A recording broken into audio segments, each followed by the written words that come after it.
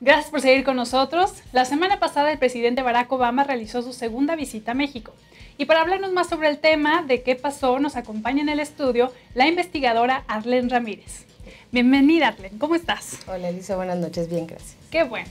Oye, a ver, cuéntanos un poco, eh, ¿por qué decidió Obama visitar nuestro país en este preciso momento?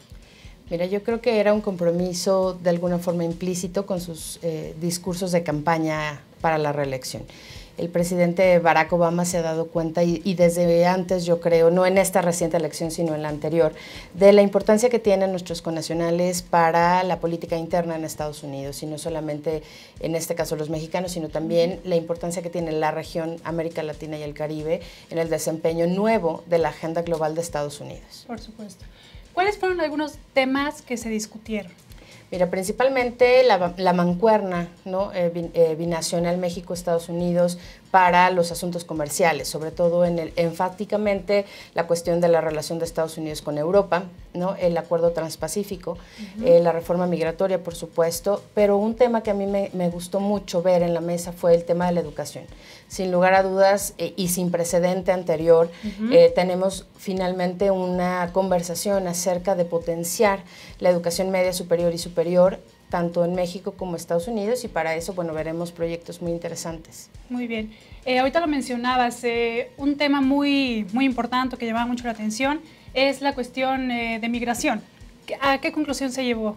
Mira, el, tema de la migración para el presidente Barack Obama es fundamental.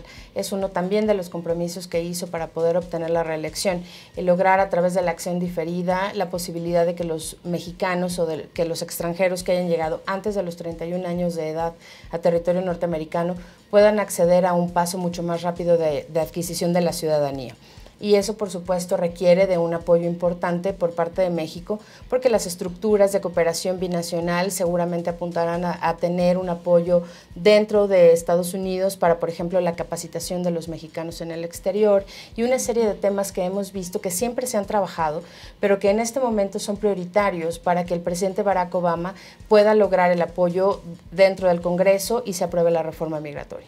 Okay. Eh, otro tema importante fue em, que van a colaborar en cuestión del crimen organizado. ¿Qué van a hacer en este tema? Claro, mira, para Estados Unidos México siempre ha sido muy importante porque evidentemente eh, formamos parte de su frontera más grande territorialmente y, en número, por supuesto, de, ciudadanos compartidos. Para este tema, en cuestión de reforma a la seguridad, se trabajarán protocolos internos, ¿no? Estados Unidos les llama Homeland Security.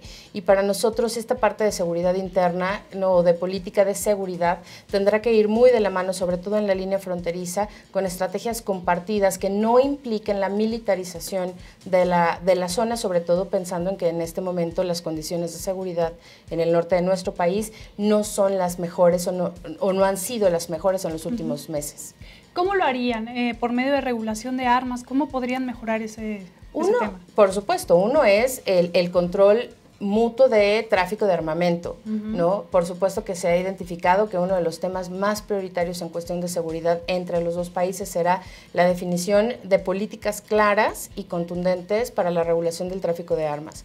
Pero también tiene mucho que ver la parte de qué se hace dentro de los congresos locales, ¿no? Y por ejemplo, en este caso, eh, la mesa de gobernadores fronterizos tendrá por ahí una participación muy importante porque en esta mesa de trabajo se hacen comisiones justamente en temas importantes de asuntos compartidos y en este caso la seguridad tomará seguramente estrategias a través de participación ciudadana, a través, por ejemplo, de consejos estatales, etc.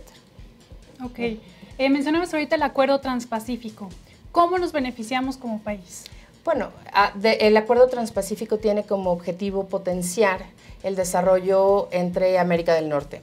Para eso ya tenemos el NAFTA y, el auditorio se podrá preguntar, ¿para qué queremos otro acuerdo si ya está el NAFTA? Lo que pasa es que el acuerdo transpacífico puede potenciar los alcances del NAFTA y puede, por supuesto, consolidar a la región, así en un esquema muy parecido al que tiene Asia, por ejemplo, o al que tiene Europa, no en ese nivel de integración económica pero sí en el acuerdo comercial, sobre todo de, eh, de, rutas de transporte, de reducción de aranceles muy particulares que ya están regulados en el NAFTA, pero que desde el acuerdo transpacífico podrán ser mucho más homologados.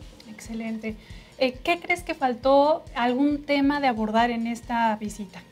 A mí me parece que, la visita fue muy buena. Sabes que a mí me gustó mucho el encuentro que tuvo el presidente Barack Obama en el Museo de Antropología con los estudiantes.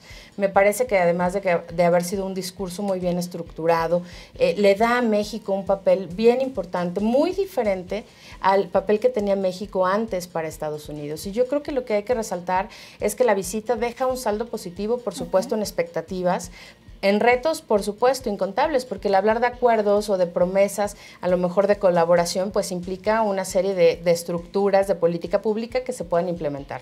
Pero me parece que la visita en términos muy generales fue algo muy positivo, sobre todo porque reivindica la importancia que tiene México para Estados Unidos y para la región. Pues buenísimo el resumen que nos acabas de dar. ¿Nos puedes pasar tus contactos, por favor? Claro que sí. Me encuentran en Twitter en arroba arleneru y en el blogspot www.arleneru.blogspot.com. Muchísimas gracias, Arlen, por habernos acompañado. Es un gusto tenerte aquí. Muchas gracias, Elisa, igualmente. Gracias a ustedes por habernos acompañado en otra edición de KW Noticias. Soy Elisa Nájera. Hasta pronto.